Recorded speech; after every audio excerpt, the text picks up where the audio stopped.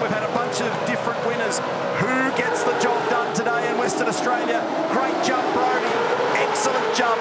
Sufficient to be able to close down. We've got one of the shell cars on the grass and Kostecki in the Coca-Cola entry leads them to turn one. Bad start by James Courtney. So beautiful getaway by Brodie on the clean side of the road.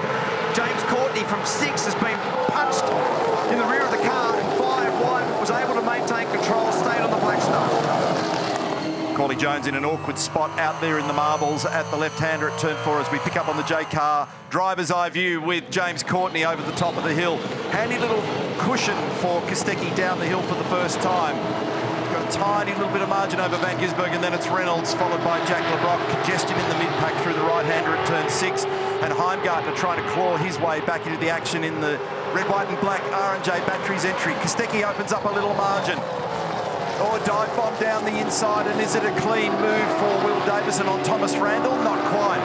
And the bash plate on the Randall car hitting the top of that turn seven curve, and they all dive to the right-hand side, covering James Courtney in there as well on the run into turn one. This is the view from James Courtney.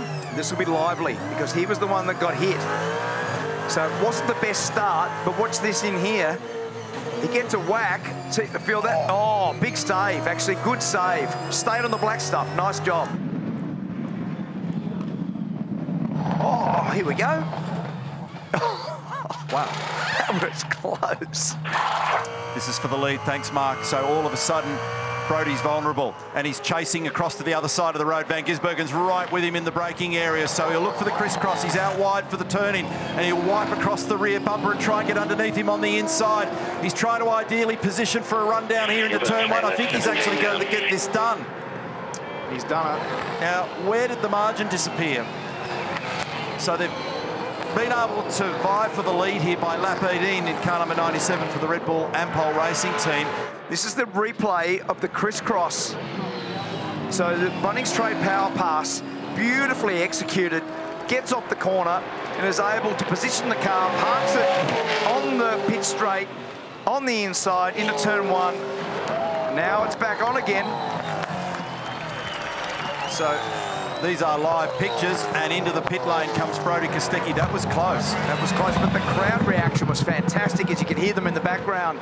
So the undercut so far has worked for everybody who's done it versus who they've been racing. So this might be smart. If you put the tyre on, get out there, make a really good stop, Van Gisbergen will have to respond. He'll have to come in the following lap, probably. And they'll be keeping a very close eye further up the lane here at the Red Bull Ampol Racing team at how long that stop was, what the pace was prior to the stop, what everybody else is doing, and what it looks like immediately after. And 3.2, 3.2, and this is the undercut. Yeah, got him. So how that's worked. Yeah. Straight away, it's worked. So Reynolds could be the leader of this race. 3.2 seconds was the stop, Neil, for Brodie. A bit unusual. Rudd Jones Racing have been pretty efficient when it comes to their oh. stops, and uh, that was nasty, wasn't it? Pirtek pit stop competition has been won by them quite a few times, and Pirtek, in fact, have just re-signed again with supercars. Whoa, Heimgartner and Waters. So we've seen that happen here a few times over the years, and this is the onboard from Andre's car. So Cam physically has to check up a bit in order to be able to get into the lane, and Heimgartner's whacked him. This is the dive. We missed it. We were on board with the Jack Smith drummer in the pit lane. That was the dive by Brodie on David Reynolds.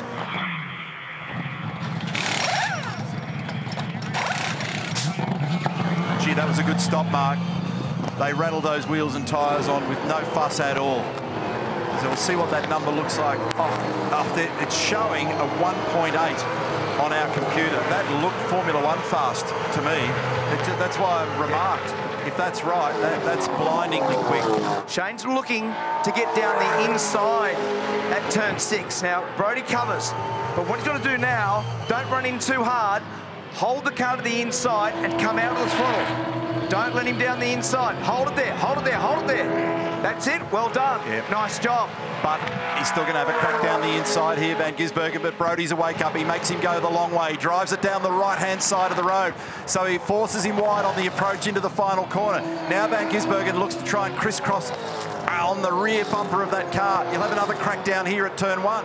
Brodie again tries to cover down here.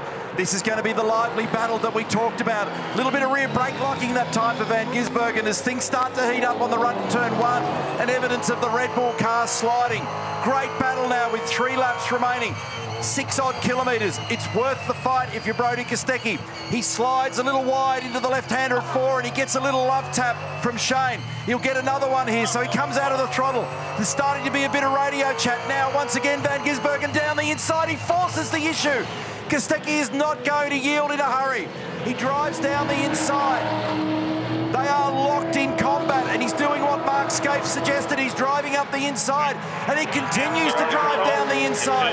He's permitted to do that. Van Gisbergen to the outside. What a great battle. And that is exactly what he needs to do. But what he's got to do is prop it here too. Prop it, prop it, prop it. Now, has he got enough for a run this time? It's very he's allowed to chop across the road like that, provided there's no overlap. And again now, we've got great racing on the run into one. It's almost turned into one 10-metre car. They are locked together, nose to tail. What a battle. We've got two laps remaining. If Kostecki can hang on to this, it'll be something of a mighty resistance and miracle because he's under extreme Race control pressure. to all teams. Bad sportsmanship flag to car 99 for blocking. Bad sportsmanship flag for Kostecki. And now the issue being forced down the inside. It's on.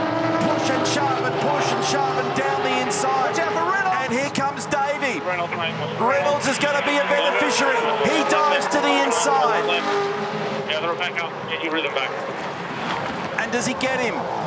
He's awkwardly positioned at the moment, but he might crisscross. There's a bit of smoke coming from car number 97 as well. And have a look at Courtney.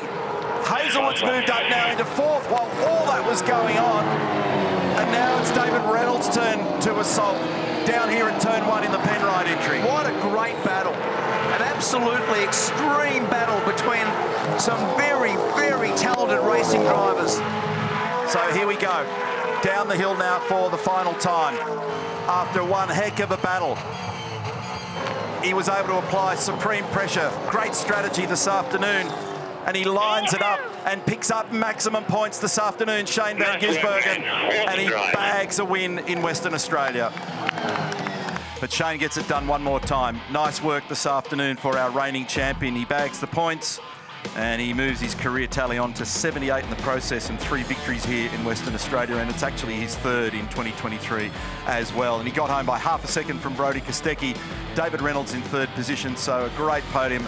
Excellent drive this afternoon by Todd Hazelwood. And that group down there should be very proud of that at Cool Drive. Courtney his tyres were sad at the end followed by Payne Slade Davison Randall Feeney our top 10